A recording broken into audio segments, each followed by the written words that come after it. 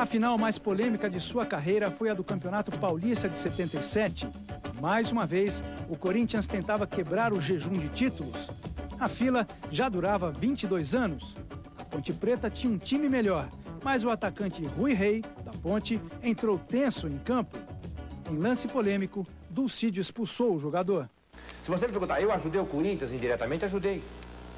Porque eu botei um jogador para fora que pediu talvez a expulsão. Porque ele chegou e me ofendeu com um cartão amarelo e disse um homérico palavrão que eu não posso dizer nem na televisão, TV educativa, não posso dizer. Mas vontade educativa não, você não pode dizer esse palavrão que ele falou, você não pode dizer nenhuma. É, mas é que tá, eu sei, por isso mesmo, vontade eu tenho. mas o problema lá é o seguinte, o cara me diz um negócio desse, o cartão caiu, tá aí o tape. O cartão cai da minha mão porque a vontade foi dar um murro no meio da orelha dele e fazer ele continuar jogando futebol. Mas como a lei não me permite esse tipo de coisa, de comportamento, eu digo fora e falei disso. Chamei a mãe dele de santa, uma série de coisas, e tudo bem. O Corinthians venceu a ponte por 1 a 0, gol de Basílio.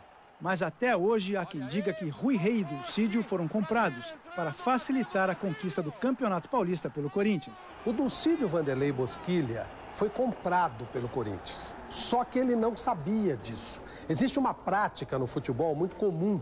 Os vigaristas, os pilantras do futebol, e até hoje eles existem, chegam em alguns cartolas incautos. O Vicente Matheus estava longe de ser incauto, mas por via das dúvidas ele topou.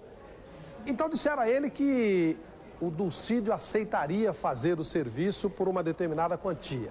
Só que ninguém falou nada com o Dulcídio Vanderlei Bosquilha, até porque se falasse, o Dulcídio voava no pescoço dos caras e eles não sobrariam para contar a história. O dinheiro jamais chegou no Dulcídio. O Dulcídio foi comprado sem saber que foi comprado. Na quinta-feira, foram procurar primeiro Márcio Papa, para saber meu endereço. Sim. Márcio Papa pulou fora, não sei. Ele era da CBF.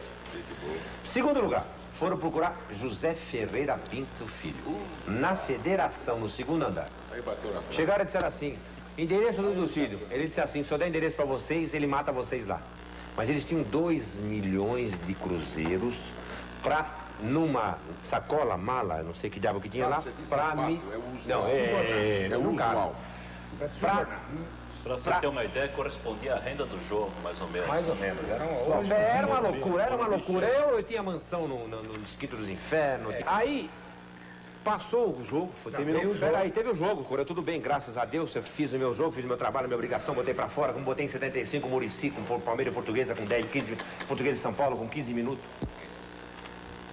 Bom, eu sei que uma semana seguinte o Zé Ferreira me chama e diz assim, vem cá, senta aqui, no segundo andar.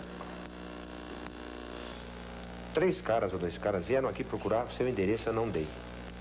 Porque se eu desse teu endereço, eu sei que você faria. Eu digo, eu tava esperando os caras, alguém chegar. Eu, ia, eu tinha uma seringueira na porta de casa, enorme. Eu tinha duas algemas e ia amarrar os caras tudo abraçados na seringueira. E chamar a polícia, imprensa, um monte de coisa. Mas os caras não apareceram. Quando me falaram isso, eu encontrei o Matheus e a imprensa está sabendo.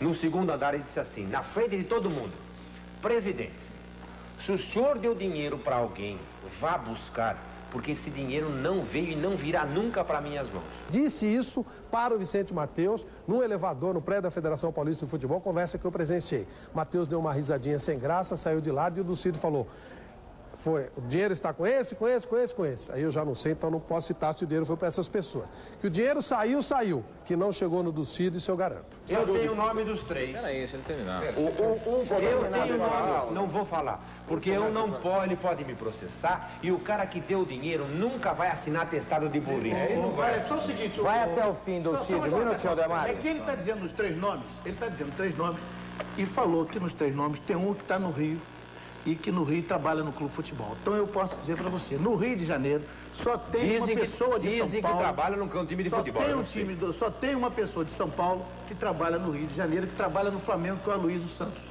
que era do Corinthians. Então, então eu não quero dizer nada. O único que eu sei de São Paulo, tá lá,